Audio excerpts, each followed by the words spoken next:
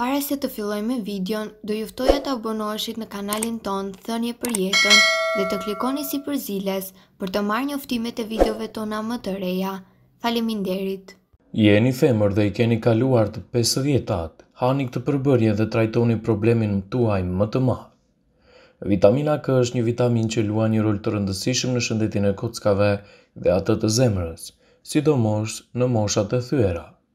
Ekspertët shprehen se pamjaftueshmëria e vitaminës K në organizëm mund të shkaktojë trombozë, gjakderdhje, probleme serioze me kockat. Disa prej shenjave të mungesës së vitaminës K përfshijnë. Lehtësi në nxirje të lëkurës me një prerje të lehtë, rrjedhje të gjakut prej hundëve ose mishrave të hundëve, gjakderdhje në sistemin tretës. Njerëzit që vuajnë nga kequshqyerja kronike, varësia ndaj alkoolit ose probleme shëndetësore që kanë të bëjnë me paaftësinë e përthithjes së vitaminave janë më të rrezikuar nga pamjaftueshmëria e vitaminës K. Kjo vitaminë e rëndësishme gjendet me shumicë te burimet natyrale, kryesisht barishtet si kaleja, spinaqi, pazia, gjethet e rrepave dhe te perimet si lakrat e vogla, lulelakra, brokoli, majdanoz dhe sallata jeshile.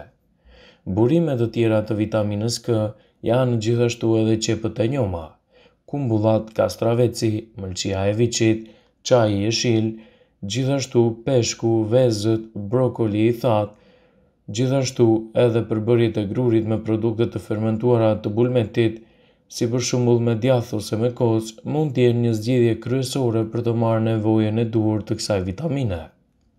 Duke marrë këtë vitaminë do të përmirësoni edhe shëndetin e kockave, e cila është shumë e rëndësishme sidomos pas të pesëdhjetave.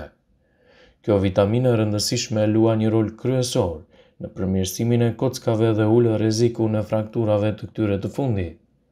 Vitamina K është veçanërisht e rëndësishme për femrat të cilat rrezikohen nga osteoporoza. Organizmi ka nevojë për vitaminën K për të transportuar kalcium, gjë që është shumë i dobishëm për formimin e kockave. Sasia e mjaftueshme e vitaminës K, veçanërisht asaj K2, janë të dobishme në aktivizimin e përbërësve të rëndësishëm për shëndetin kockor. Ajo është proteinë që qarkullon në gjak dhe që ndërlidhet me jonet e kalciumit dhe strukturën e kockës. Kjo proteinë i bën kockat akoma dhe më të forta. Duke marrë këtë vitaminë, do të mbështesni edhe shëndetin e zemrës. Vitamina K është e mirë për shëndetin e zemrës. Pikë së pari ajo ndihmon në uljen e tensionit të gjakut. Duke parandaluar akumulimin e mineraleve në enë të gjakut, kjo e ndihmon zemrën të pompojë gjakun më lehtë. Vitamina lufton inflamacionin dhe mbron qelizat përbërëse të damarëve, venave dhe arterieve. Një gjë e tillë pakëson gjasat e një arresti kardiak ose të një ataku në zemër. Mbështet funksionin e trurit. Kjo vitaminë lufton inflamacionin dhe mbron trurin nga stresi oksidues që shkaktohet nga radikalet e lira. Stresi oksidues mund të dëmtojë qelizat e trurit dhe të shkaktojë sëmundje të ndryshme si Alzheimer, Parkinson e të tjera.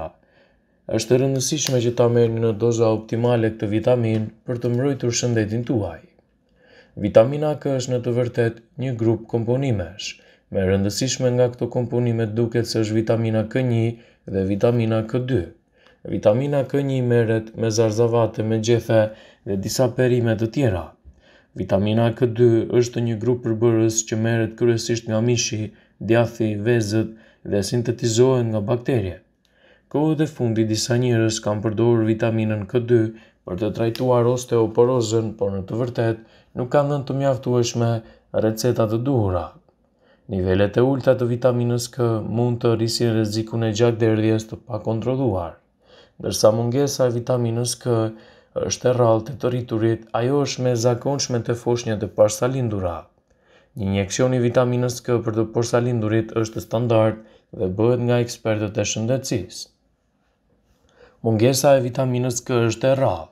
Pasi mund të keni mungesë të kësaj vitamine, rriten shanset edhe për të pasur rreziqe më të mëdha, sidomos nëse keni një sëmundje që ndikon në përthithjen e traktit tretës, pasojat do të jenë të rënda. Nëse merrni ilaçe që ndërhyjnë në thithjen e vitaminës K, nëse jeni i kequshqyer ose pini tepër alkool, pasojat në organizëm për këtë vitaminë janë të rënda. Në këto raste mjeku mund të sugjerojë marrjen e shtesave të vitaminës K. Përdorimet e vitaminës K në tumore për simptomat e të vjellave në mëngjes, për heqjen e venave merimangë në këmbët tuaja dhe gjendje të tjera shëndetësore janë mëse të këshillueshme. Burimet më të mira natyrore ushqyese të vitaminës K përfshijnë perime si spinaq, asparag dhe brokoli, bishtajore si fasule, vezë, luleshtrydhe, mishi si mëlçia. Por cilat janë rreziqet e marrjes së vitaminës K? Shumë ilaçe mund të ndërhyjnë në efektin e vitaminës K. Këtu përfshihet holluesit e gjakut, aspirina, të cilat përdoren gjithashtu edhe ilaçe të tjera për kolesterolin ose tumorët. Ju nuk duhet të përdorni shtesa të vitaminës K përveç nëse u rekomandon mjeku. Njerëzit që marrin ilaçe me probleme të zemrës, çrregullime të koagulimit, mund të kenë nevojë që të vëzhgohen më mirë disa ditë nga mjeku i tyre përpara se të marrin këtë vitaminë. Pasi ta dëgjonit këtë video, do ju ftoja t'i bënit like dhe ta shpërndanit atë në profilin tuaj në mënyrë që të informohen dhe miqtë e tu. Ju mund të keni dëgjuar kryesisht për vitaminën A, B, C, D dhe E.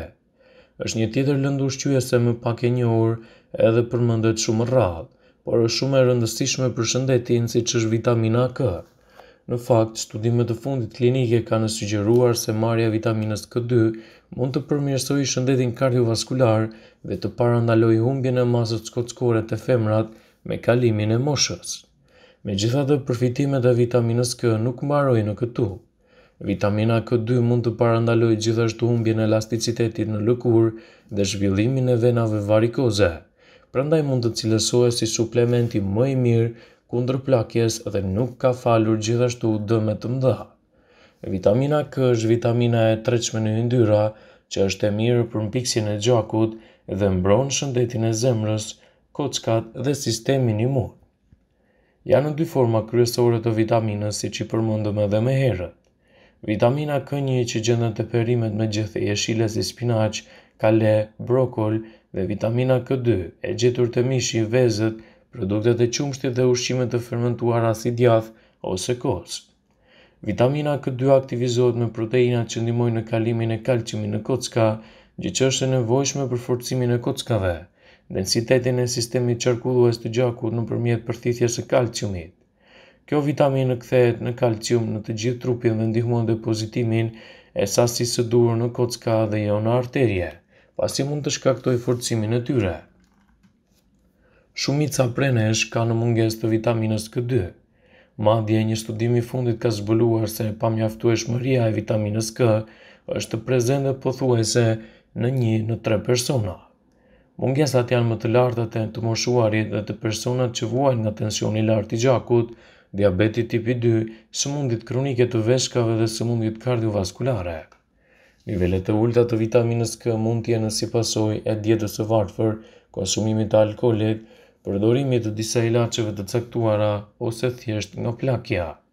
Një studim ka treguar se njerëzit që përdorin statik, një ilaç të rekomanduar zakonisht për përmbajtjen nën kontroll të niveleve të kolesterolit, mund të kenë nivele të ulëta të vitaminës K2 në organizëm.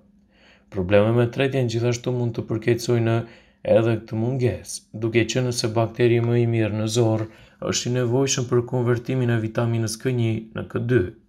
Nivelet normale të vitaminës K2 janë gjithashtu të rëndësishme për absorbimin e vitaminës D.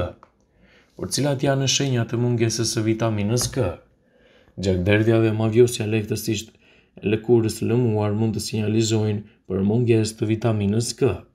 Shenja të tjera janë prishja e dhëmbëve, shëndet i dobët i mishrave të dhëmbëve, kocka të dobëta dhe probleme me zemrën. Përdorimi i lartë i antibiotikëve mund të pengojë absorbimin e vitaminës K2 nga ushqimet, duke qenë se ndryshon bakteritë në stomakun tuaj dhe ndryshon edhe mundësia që do të tretet organizmi në mënyrën e duhur. Merreni këtë vitaminë me këshillën e mjekëve. Pasi ta dëgjonit këtë video, do ju ftoja t'i bënit like dhe ta shpërndanit atë në profilin tuaj në mënyrë që të informohen dhe miqtë e tu.